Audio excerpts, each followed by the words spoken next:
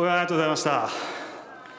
はい、えー、レースは激しいレースになりましてホームで山崎選手と山口選手が踏み合いになりました。後ろで見ていていかがでしたでしょうか？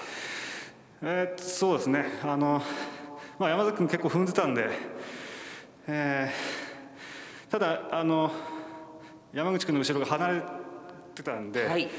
まあそこをなんとかさばいて入れられればいいなという感じでした。はい山崎選手が山口選手の番手にはまる展開になりましてまた短期の鈴木宏選手がまくってきてすかさず山崎選手が仕掛けました。後ろについていていかがでしたでしょうか？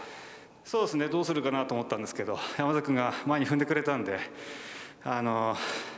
チャンスができましたね。はいそしてゴール前はさすがの差し足でございました。手応えいかがだったでしょうか？いやあの2センターぐらいではあのもうちょっと楽にあの差し切れるのかなと思ったんですけど山崎君の踏み直しがすごくて、はい、なんとか抜けました。はい、え成田選手今年はギリギリまでグランプリ出場を争う大活躍でございました、えー、来年に向けてまた残っていただいたお客様に向けまして一言メッセージをお願いいたします。はいあのまあ今年1年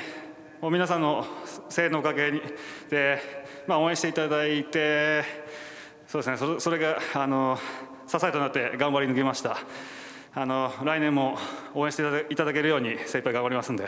またよろしくお願いします。はい、えー、見事優勝いたしました成田和也選手にお話を伺いました、えー、皆さんもう一度大きな拍手をお願いいたします。はい。成田選手の会場でございます。